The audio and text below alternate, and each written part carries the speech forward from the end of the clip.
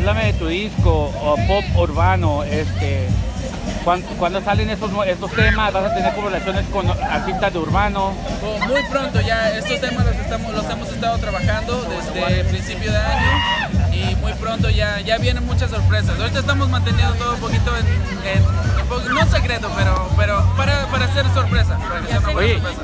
¿y los rumores son ciertos o no son ciertos? Dígame cuál. De- el de tu papá que está vivo, yo no sé.